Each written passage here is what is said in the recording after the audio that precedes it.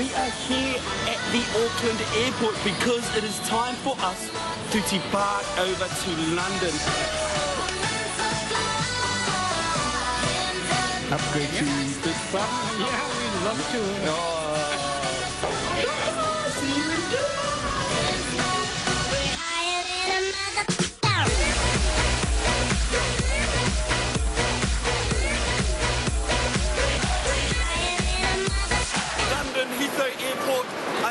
glad to be here. Check it out. This is London. It is down. This place is freezing. I mean, you can see the steam coming out of my mouth. Check that stuff out. We're going to have to be wearing maro. We are honestly going to be freezing. Ever heard the term shrivel? That's what my bro Mark is going to have.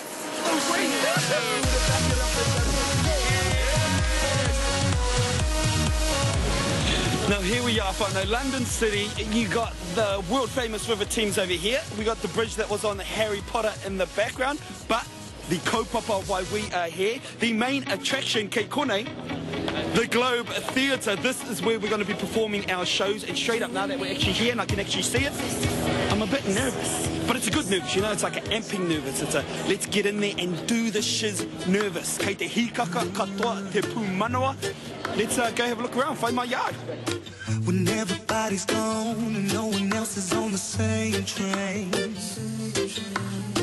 Moving on your own and you're the only one that's changing. Here we are, whānau, female lead. Awhi, kei te pēhea Gil. Oh, good. I'm Yeah. really good.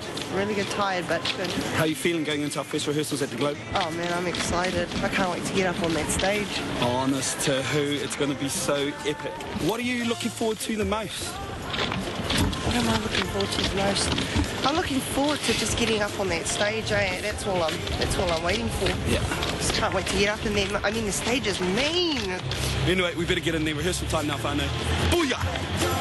Let the music play. Let the music play. The music, the music, the music will break your heart. E actually being able to be here and, and seeing some of the old foundations and what used to be here, the old globe of Kare i Koatu, I mean, it's inspiring. It's given me the oomph to go hard in our, in our performance. So uh, that's what I'm going to do.